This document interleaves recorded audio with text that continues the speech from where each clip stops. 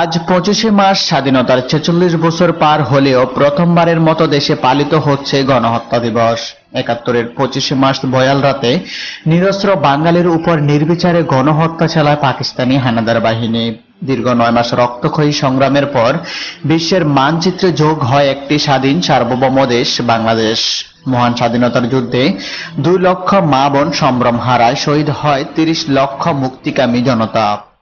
লাখো শহীদদের সাথে যোগ হয়েছিল জালকাঠির নলসিটি উপজেলার চোদ্দ জন শহীদের নাম। উনিশশো একাত্তর সালের এগারোই মে নলসিটি থানায় তৎকালীন এস এ মোহাম্মদ ইসুব আলী উপজেলার একশো ছাব্বিশ জন ধনী ব্যক্তিকে থানায় দাওয়াত দেয়। এদের মধ্য থেকে চোদ্দ জন গণ্যমান্য হিন্দু নেতাকে দুই দিন বিনা অপরাধে পরিকল্পিতভাবে আটক রাখার পর তেরোই মে পাকিস্তানি দোসর আলবদর রাজাকারদের সহায়তায় সুগন্ধা নদীর তীরে হাত ও চোখ বেঁধে পুলিশ নৃশংসভাবে সারিবদ্ধ অবস্থায় দাঁড় করে গুলি করে হত্যা করে।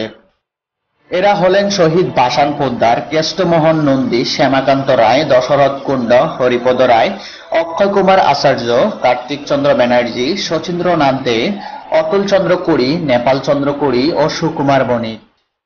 সেদিন গুলিবিদ্ধ হয়েও অলৌকিকভাবে বেঁচে যাওয়া তিনজনও কয়েকদিনের মাথায় মারা যায়। এরা হলেন ক্ষিতীশ চন্দ্র দত্ত, অনিল চন্দ্র দে, কালীপদ মজুমদার।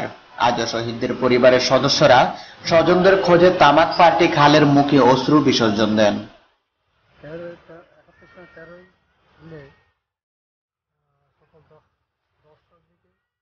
আমার বাবা আর আমার এক লগে বাজারে তখন পুলিশ এসে ডাক দিল যে হরিভূত আছে আর আছে। তখন বাসন মুদ্রার সামনে লয়ে গেলে।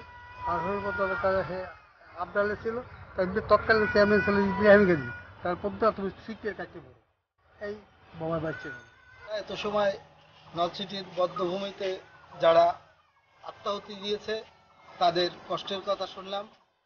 আমরা বর্তমান প্রধানমন্ত্রী জননেত্রী শেখ হাসিনা, যেহেতু মুক্তিযোদ্ধার প্রতি তার একটা অকুণ্ঠ সমর্থন, সহযোগিতা আছে, আমরা আশা করি বর্তমান সরকার এই পরিবারদের প্রতি যে স্বীকৃতির জন্য তারা যে আকুতি, সেটা সেই স্বীকৃতি স্বরূপ তাদের যেভাবে যুদ্ধ নিহত পরিবার হিসাবে স্বীকৃতি পেতে পারে, তার জন্য তারা এই প্রধানমন্ত্রীর কাছে তারা নিবেদন করলেন।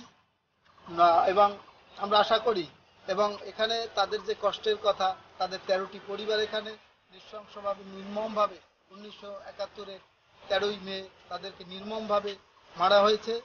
তাদের কষ্টের কথা আমরা শুনলাম।